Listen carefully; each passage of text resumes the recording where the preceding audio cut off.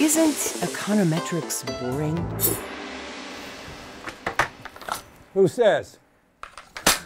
Well, if you think econometrics is boring, I have to say that your teachers have failed you.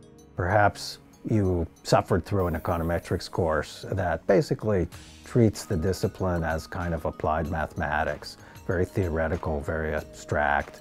One of the unique things about our approach in the Mastering Econometrics video series and in my books with Steve Pischke is the focus on questions, actual causal questions uh, that are interesting and important in my students' lives. For example, whether it matters if you go to an expensive private college. Does that change your life course in the form of higher earnings? Whether health insurance makes you healthier? Whether Federal Reserve monetary policy might have changed the course of the Great Depression or the Great Recession. Whether uh, growing up in a state where you're allowed to drink alcohol legally before age 21 would matter for uh, death rates in that state.